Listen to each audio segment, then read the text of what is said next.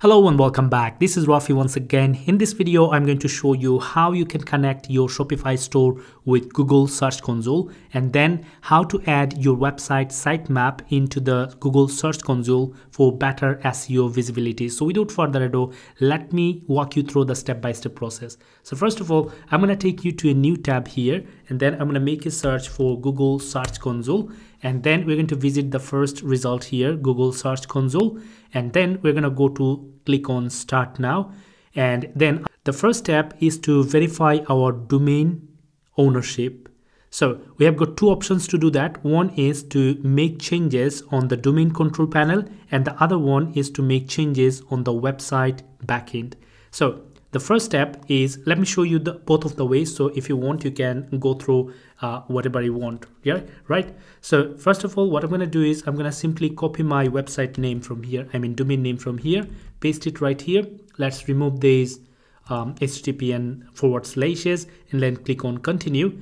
And after that it is going to show us this option select record type text which is recommended but we have got cname record as well. We can go either way. And after that we have to sign into our domain control panel and then we have to copy this text record i mean um, text data. So i'm going to click on copy and after that what we have to do is we have to go to our domain control panel which i have got with namecheap. So under advanced dns simply have to scroll a bit down and then we're going to find this add new record option under host records. So i'm going to click on add new record and after that i can go with cname record if i have chosen cname there or I can simply go here and click on text record and then I can paste the value right here and then click on this tick mark to save the changes.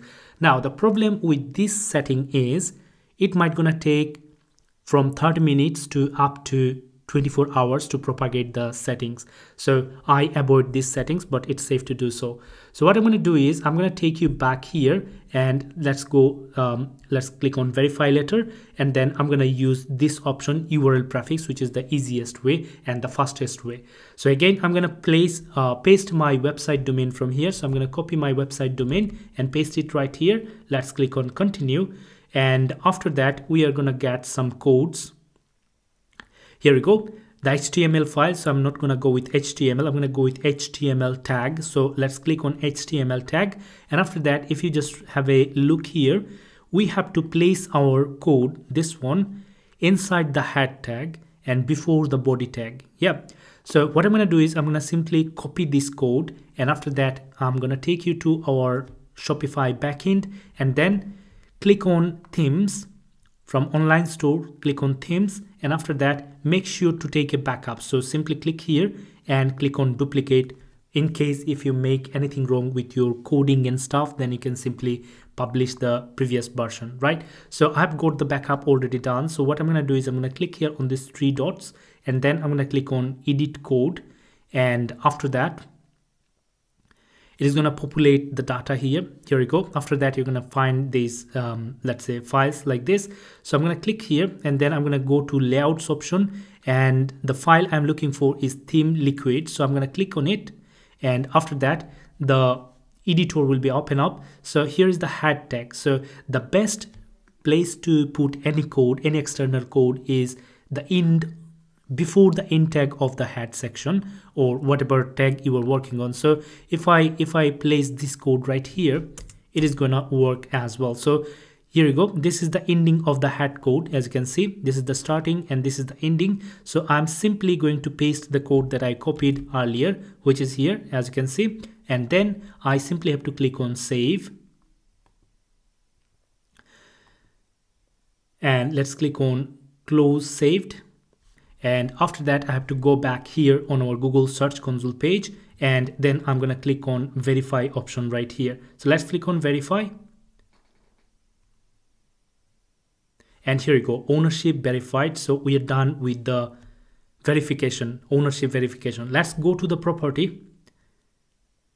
So as you can see here, the indexing and many other options you are getting. So what I'm gonna do now, I'm gonna take you to sitemaps and after that, I'm going to put my website sitemap URL right here. So if you go here and then make a forward slash and then type out sitemap xml just to verify if it is the right URL. Here we go. It is populating our products page. As you can see, products, pages, collections, blogs, everything under this URL.